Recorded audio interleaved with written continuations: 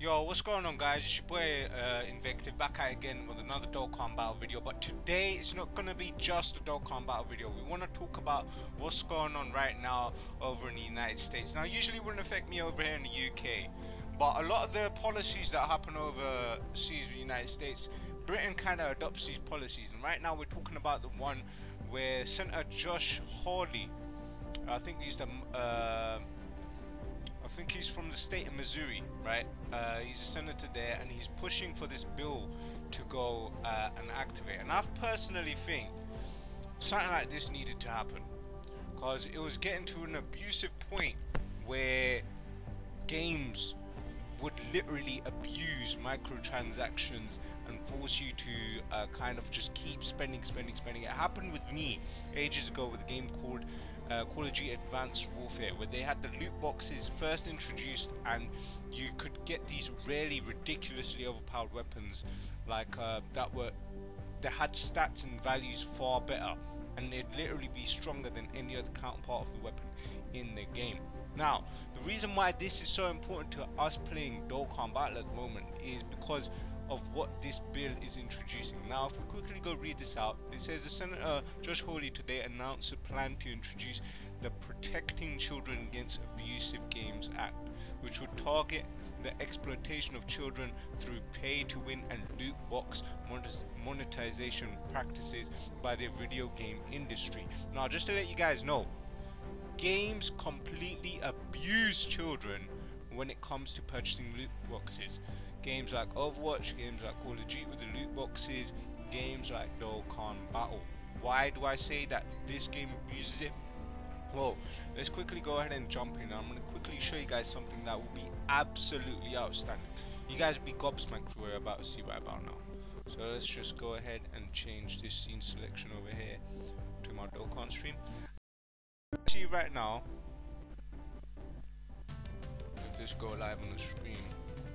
There we go. As you can see right now, I'm going to quickly show you guys exactly how much I've spent within this month. Within this month, just on Dokkan.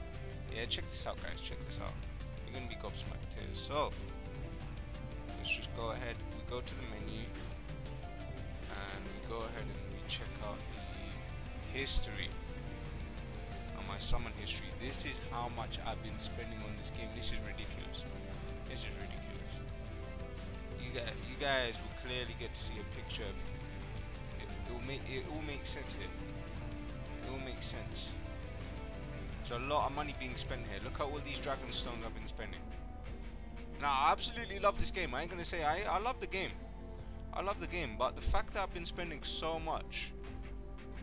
Look, look, look at all this. Look at all this. And this is just some of my transaction history. 50 stones, 50 stones, 50 stones, 50 stones, 50 stones. Now a lot of you guys are gonna argue, do you know what? You can go ahead and get these stones for free in the game, so like why is it bothering you? Uh, that's not true. That's not true. Look at all these summons. Look at all these. Look at all these. Are you guys seeing this? This is just within the last two months. If we calculate all these hundreds of stones I've been spending, I say in total, I've spent at least around 800 quid maybe not 800 but I like 700 quid for this one game. One game I've probably spent that much. Look at all these stones 50 50 50 50 50 50 so many stones. You go on the summon you guys are gonna say you can save up stones and you can collect them but honestly really and truly to collect everything in the game it's not possible. To rainbow everything in the game even with all these banners even with their discounts and everything it's not possible to get every single unit in the game they are completely abusing you and they are taking they know that they're going to be making loads of money. That's why the game is constantly hitting number one in the app store. Now it's hitting number one in the app store not because of people playing the game but because the amount of share money being spent on the game. We are constantly hitting number one in the app store. You guys probably wondering why it's because people are forking out a lot of cash for this game. And really and truly all this cash, all these products, not just that, but in-game purchases. Look at in-game purchases. They incentivize you to spend money on the game. They incentivize you to spend money on the game. Now you're probably thinking, is there a fix to this? Like, look, look how much you have to spend just to get, just to get a 50 stone pack. Obviously, it's not here right now, but the 50 stone stone pack costs you 30. Costs you this much 30 for the 50 stone pack. And just just to put that into perspective, if you was to log in every day, right? If you was to log in every day, if you was to do all the events, at maximum, you'd probably get amount around a hundred stones through everything that you could do through this event, through these login bonuses here. They do give you some good login bonuses and everything, but at the end of the day, they still want you spending money. 15 stones here, 15 stones here, but other than that, you only be, or rarely will you be getting 15 stones. Uh, very rare. This this is just for celebrations. You might be getting them, but other than that, you get all these one stone, one stone, one stone, one stone, one stone. That's you're gonna be getting around 40 stones per month, just from the login bonuses right? You'd be getting 40 stones, and then you can do some story missions and missions and stuff like that daily to get some stones. But honestly, really and truly, they're making you fork out so much money just so you can consistently play this game. Now, there's one game that I think I've done this right. I've done this right, and uh, we should follow suit with this game because this game, everyone plays it. Everyone knows what it is. So let's go ahead and swap over to that. Right.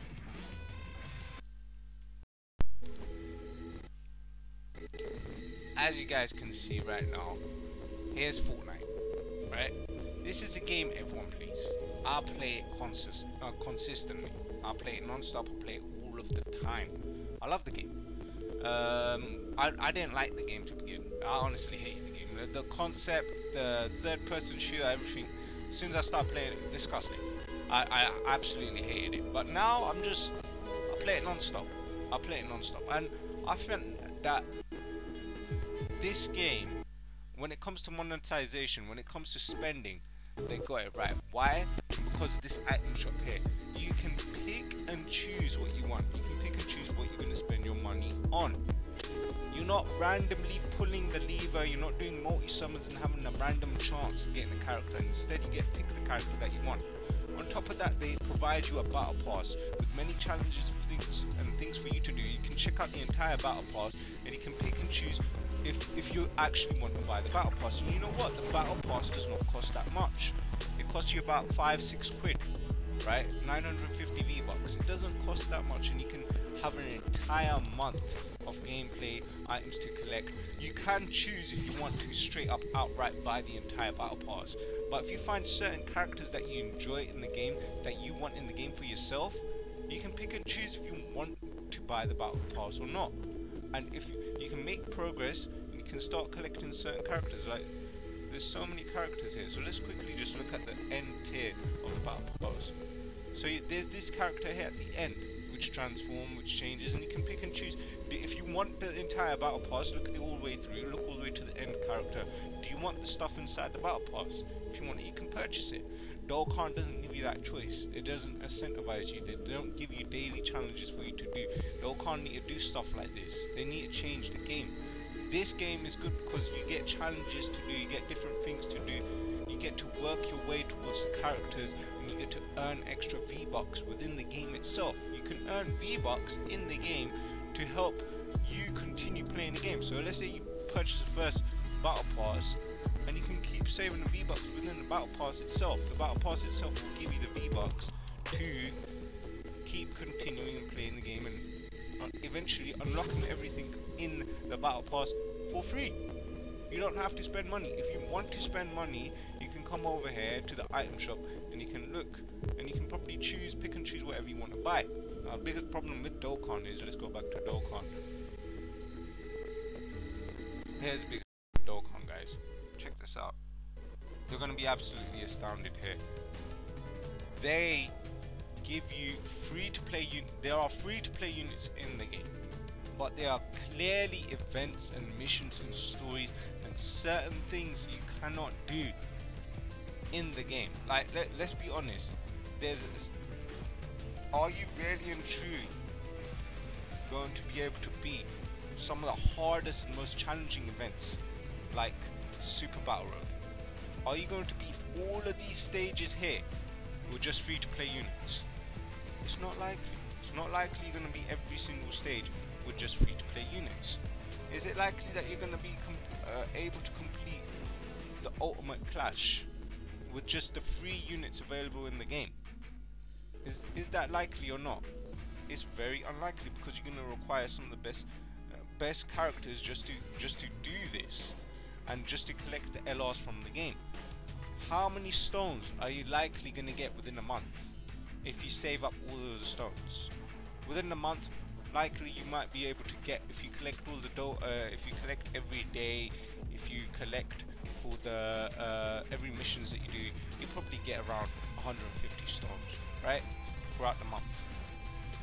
150 stones is going to get you three multi summons on this banner. You might get one free. You'll have a very minuscule chance of pulling a characters here. But the thing is, they constantly bring out more and more banners. There's constantly more and more, constantly more and more, constantly more and more, constantly more and more. You see what I mean? You won't really and truly be able to get every single available item in the game. Unlike Fortnite, where you can pick and choose what you want. I think in Dokkan they need to make it so that you can pick and choose by or do challenges. They need to do they need to do more stuff with the missions. They need to make the missions where you complete the missions, you get a big prize pool, or you complete specific special missions here. Like I like what they do with the special missions, but they need to make special mission missions where you can actually go ahead and collect the main characters from the Dokkan festivals. You know what I mean? There should be missions for you to do to collect gacha coins. Gacha coins is a new mechanic over on the JP side. Every time you summon, every time you do a multi-summon, you get the coins. The coins should be obtainable through in-game play. Doesn't make sense. This game is making so much money out of the people that are constantly playing it. And there's other games out there that are doing it better. So I'm not hating on Dokkan. I love the game. I enjoy it. But I also realize Dokkan is definitely gambling. It is definitely gambling because you are putting money into something which you're pulling the lever on like a slot machine and you have a 50-50% chance if you're going to get what you want or if you're not going to get what you want. Really and truly, even if I look at the summons that I've had, out of all the characters that I've got, we just quickly have a look at what we've acquired within the 600 stones here that we've spent. Yeah, I know I've got the LR, but really and truly, what were my chances? And I've only got one. You have to get multiple versions of this same character just to get him at 100%. Not everyone out here that plays Dokkan Battle has the amount of money that the Truth DT is spending on this game. Every, not everyone's a whale. Not everyone's going to be able to get all of the best units every time they appear. That's truthful, but they should have some sort of way for you to acquire you know for you to acquire characters like this in the game. They shouldn't be locked behind a paywall. It's completely unfair. I don't think it's right.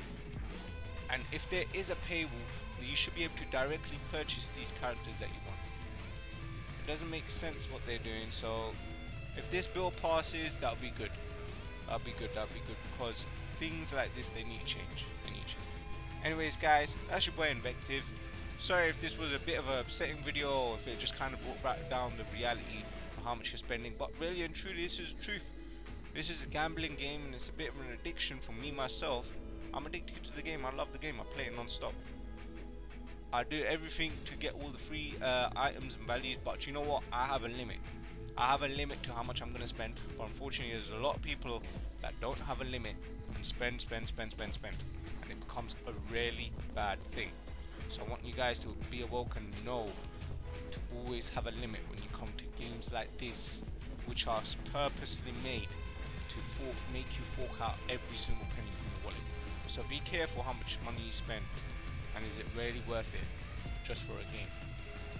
These things don't have an actual value in real life. This is just your personal enjoyment, but it doesn't have any real life value. I mean? So anyways guys, that's your boy Invective. Hopefully you enjoyed this video. If you enjoyed it, go ahead and smash that like button. If you guys agree with what I'm saying, if you agree with what I'm saying, just uh, go ahead and like, uh, like or dislike. It's up to you guys. Um, I need to hear in the comments down below what you guys think about Dokkan Battle, if it's gambling or not. What do you think about this build that's about to pass? How, do you want it to pass or do you not want it to pass? Just let me know guys, go ahead and put, put a comment or something down below. Anyways guys, that's boy Invective. Hopefully you guys enjoyed this video. I'll catch you guys on the next Dokkan Battle video. Peace out.